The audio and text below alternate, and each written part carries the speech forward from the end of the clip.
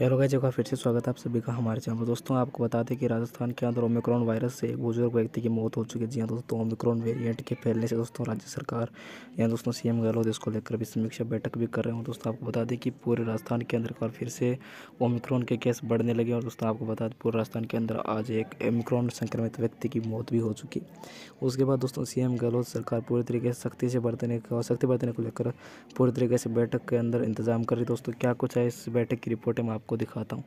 देखिए दोस्तों सीएमआर पर कोरोना को लेकर बैठक सीएम ने कहा, एयरपोर्ट पर तो चेकिंग भी नहीं हो रही।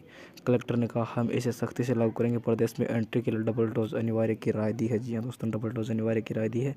वहीं आप देखिए सीएमआर में जो बैठक हो रही है, उसको लेकर क्या कुछ और दिशा निर्देश है? देखिए सीएम गलत कार इसमें से बैठक राजधानी जयपुर के अंदर बढ़ रहे मामले, हल्के में नाले सीएम गलत ने अधिकारियों को दिए निर्देश कहा जयपुर जयपुर के रामगंज मॉडल की तर्ज पर काम करें। दोस्तों, पूरी तरीके से लॉकडाउन के बारे में बताया जा रहा है। वहीं देखिए दोस्तों, ये बैठक के अंदर बहुत ही बड़े निर्णय लिए जा सकते हैं। जल्दी इसको लेकर अपडेट आने वाली है। जी हाँ दोस्तों, कोई और यदि लॉकडाउन से रिलेटेड निर्णय होगा तो मैं आपको ज़रूर से बताऊँगा।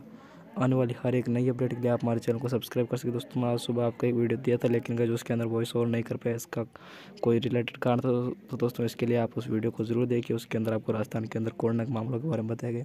कितने मामले हैं फ़िलहाल इसके बारे में। तो आने वाली हर एक न्यू अपडेट आपको हमारे चैनल पर मिलती रहेगी। आप चैनल को सब्सक्राइब करके रख ले। मिलता हूँ आपसे नेक्स्ट वीडियो में। Thank you